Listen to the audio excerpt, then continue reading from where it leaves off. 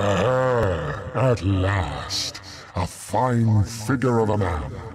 That's what I like to see. It's said that inside every fat person is a thin one trying to get out. But no, I say outside every thin person is a fat one trying to get in. Enter, weighty wanderer.